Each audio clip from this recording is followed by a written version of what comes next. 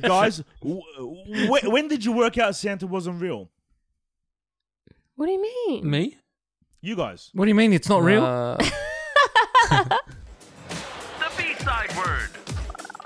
The boys have repeatedly asked me how Santa Claus gets in, and they they It's- really it's above like, Dev's head right now, I brain and see they it. Just can't figure out. They're like, they're like, we don't have, we don't have a fireplace.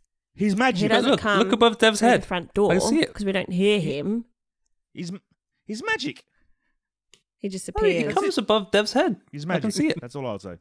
and they, I've had, I've had one seriously ask me, "Mum, just tell me the truth."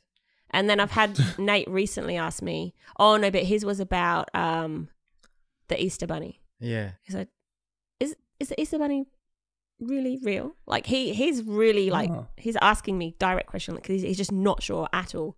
I'm like, I don't know. What do you think? He's like, just tell me. Like, is the Easter Bunny real? Like eh, Does he say that was eh, Nate, Just tell me. Just tell me. Come Yeah. on. I can handle it. Just tell mm-hmm. me. and I was like, I don't want to ruin this child's childhood. How old? I How old is he reckon if you told him it didn't exist, he'd be like, huh. yeah, that was what Aiden did with the Santa Claus. He was like, tell me. I won't tell the boys. So Just turned nine. Thirty. six. No, six was the Easter Bunny one.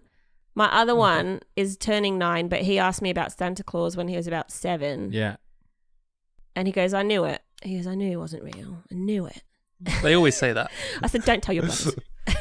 I knew that. I knew that from day one. When I was two years old, I knew you were lying. you can't fool me. Okay, guys, w- w- when did you work out Santa wasn't real? what do you mean? Me? You guys. What do you mean? It's not real?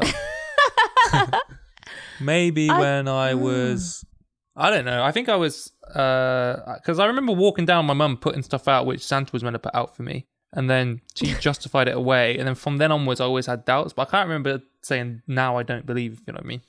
I must have been about six, I think, when that happened. I don't remember either, but I do remember sitting up on Christmas Eve, me and my brother sat out watching outside my bedroom window, sit, like staying up as late as we could with our eyes open to see if we could see the sleigh in the sky. so I remember that. Obviously, I did think it was real at some point, but I can't remember what age. And then I don't remember the he's not real. Like I don't remember that.